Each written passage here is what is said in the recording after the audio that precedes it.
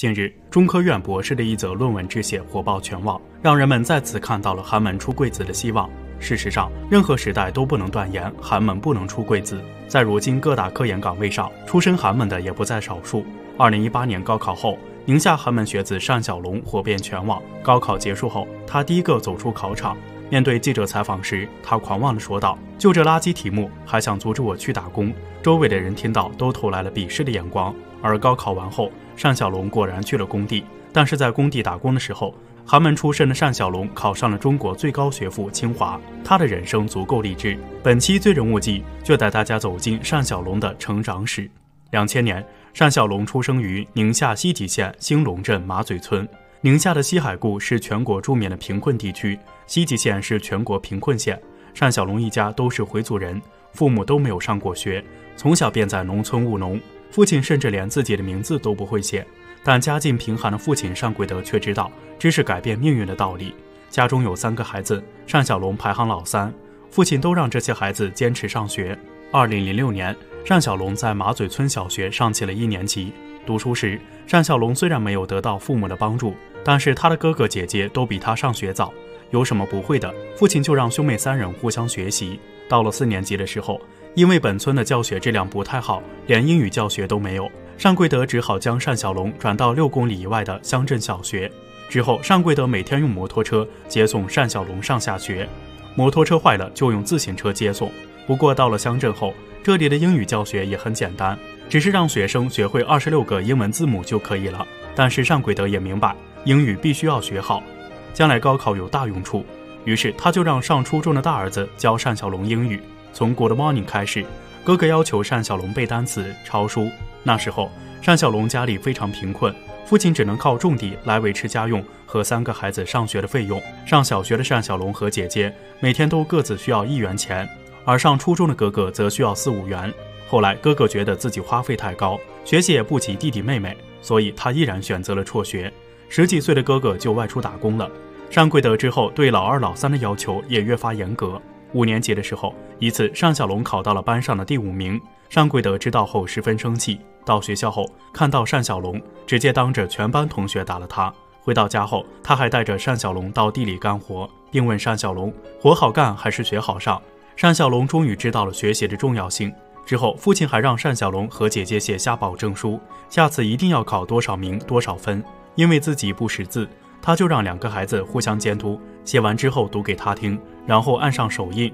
从这之后，单小龙在学习上就从来没让父亲担心。二零一二年，单小龙进入县城里的初中学习，开始住校后，父亲因为无法每天见到单小龙，他只能天天和单小龙的班主任通电话，询问单小龙的学习情况，这让初中时期的单小龙倍感压力。有时候上课时，班主任的手机铃声响了，他就怀疑是父亲打来的。不过，也正是这股压力，让单小龙逐渐养成属于自己的学习习惯。做作业时尽量提高效率，节省出来的时间会反复思考、梳理每天所学内容。每晚入睡前，一定要在脑海中将思路再过几遍。天性乐观的单小龙还经常帮助同学讲题。二零一五年，单小龙在中考时考到了六百九十分，全宁夏最好的高中银川一中向他抛来了橄榄枝，希望单小龙能够到银川一中就读。但单小龙自己明白。去银川上学，花费也必然会增加。为了给家里减轻负担，他主动提出不去银川上高中。爸，我上县城的高中也一样，只要肯努力，不怕考不上大学。但是银川一中是人人向往的高中，一向重视教育的父亲硬着头皮也要让儿子去银川一中。他对单小龙说：“我会想办法的，孩子，你一定不能放弃去银川上高中的机会。关键时刻，隆德县教育局和母校奖励单小龙一千元奖学金。”坚定了单贵德送儿子去银川读书的决心。就这样，单小龙进入银川一中就读高中。从进入校园的那一刻起，单小龙就暗暗发誓：三年后我一定要考上最好的大学，绝不辜负爸爸对我的期望。银川距离单小龙的家里有四百多公里，每次从家里出发到学校都会花上七个多小时的时间。所以上高中后，单小龙除了寒暑假外很少回家。为了方便和儿子联系。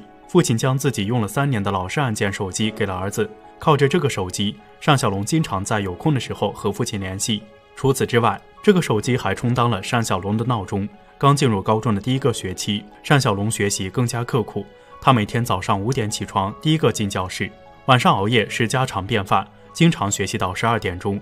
但他认为自己还不是最刻苦的，因为高中里大多数孩子都学习非常认真。他能做的就是给自己定下每天的计划，只要把自己的目标完成就好，每次都突破自己。高中时期，单小龙在数学和物理方面展现了自己的天赋，于是之后他选择了理科，并且每学期都能拿到奖状，家里早已堆满了奖状。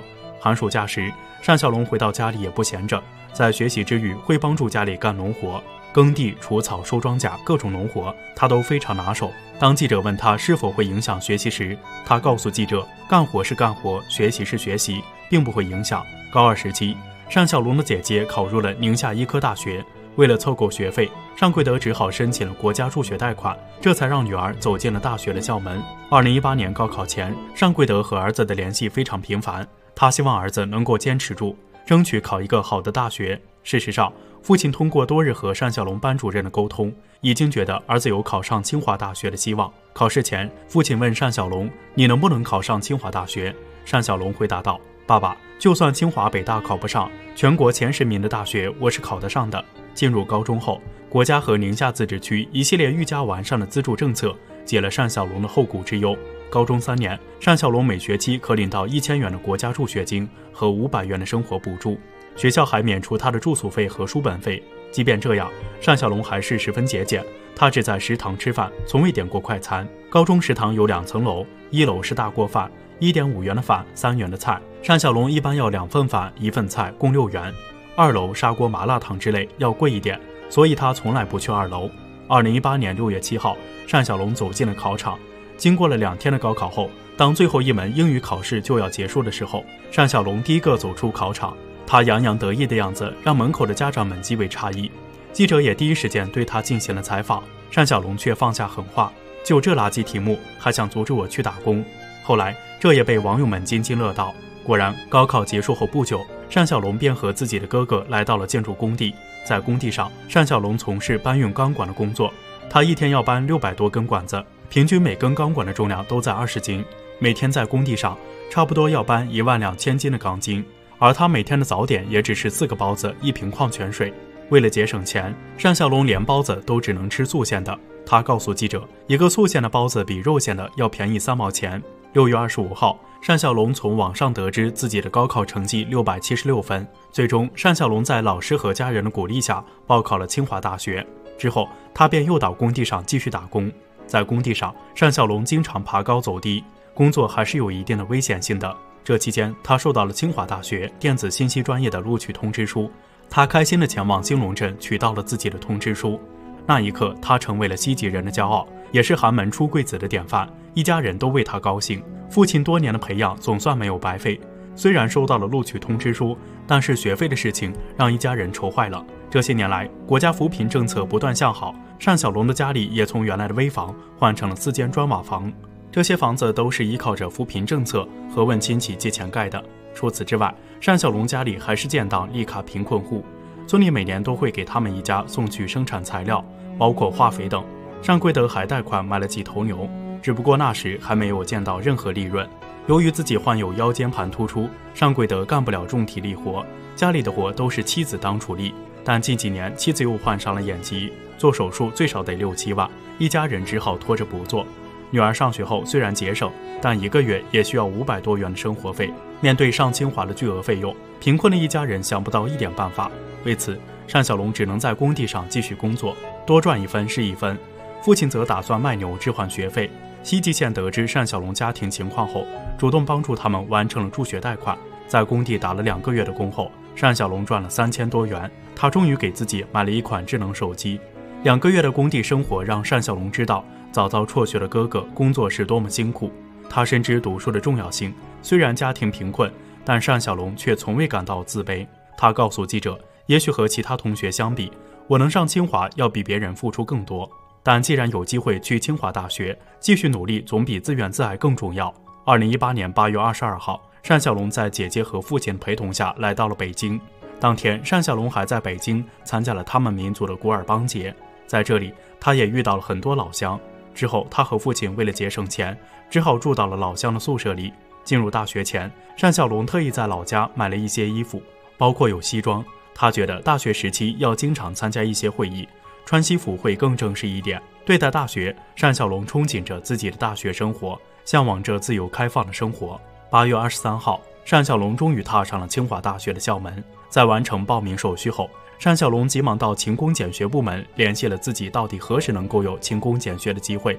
之后，单小龙还遇到了高中同学，在同学的带领下，单小龙来到了清华大学的宿舍。他友好地向舍友们打着招呼。整理完被褥后，单小龙的父亲和姐姐告诉单小龙，要处理好和同学们的关系。之后，父亲和姐姐便乘坐当天晚上的车回到了银川。接下来，单小龙就要独自面对大学的生活。他给自己定了目标，一定要在专业里排名前十。进入大学后，单小龙终于申请了微信，和同学们互相加了好友。期间，他在朋友圈里也关注着慈善，发了一条关注脑瘫救助的公益活动。